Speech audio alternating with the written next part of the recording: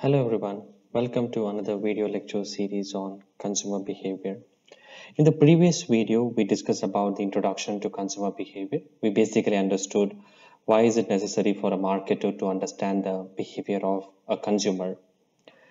In this video, uh, we'll be discussing about the input process output model or this model is also called as the black box model.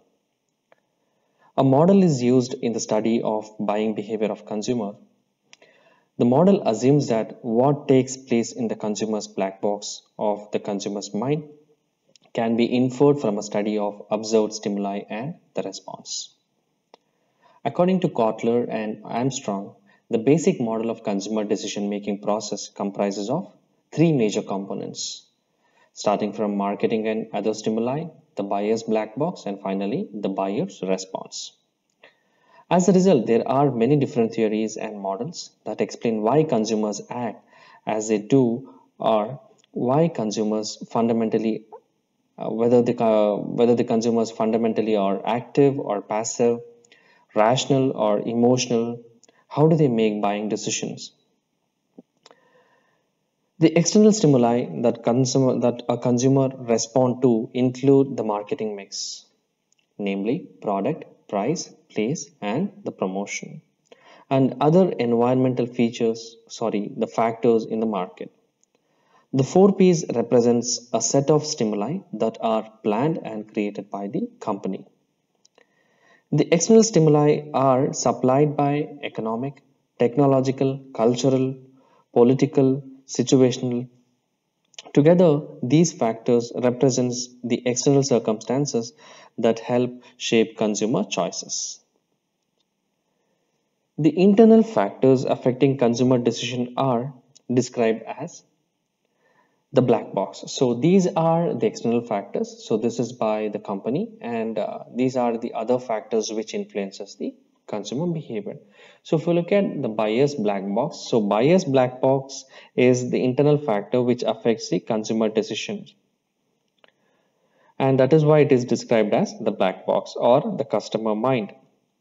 So this contains factor that exist in the person's mind. These include characteristics of consumers such as needs, beliefs, values, motivation, and lifestyle. So in the buyer black box model, there is buyer decision process. So buyer decision process is how the decision is carried out.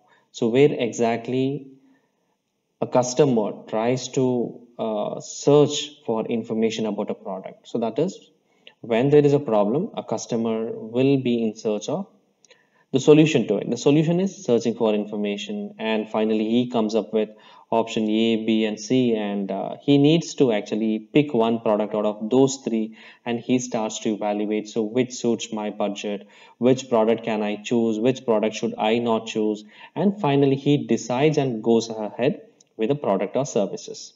And next comes the post-purchase behavior. So post-purchase behavior is so how exactly the behavior of a consumer is going to be post the purchase of that product from the company. So the decision making process is also part of the black box model. As a consumer responds to external stimuli, uh, their black box process uh, choices based on internal factors and determine the consumer's response. So consumer's response is how likely a consumer is going to be influenced by the external factors and the in internal factors and what his response is likely to be. So well, there are only two chances. Either he may buy the product or he may reject the product.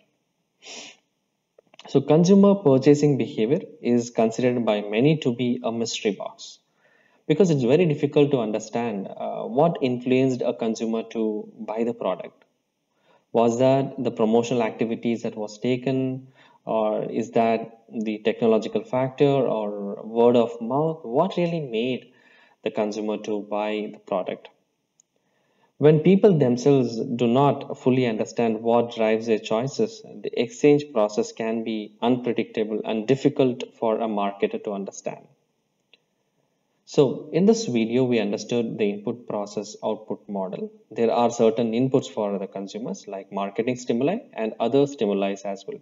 And there are certain internal motives which drives a person to buy the product or it is called as the buyer's response.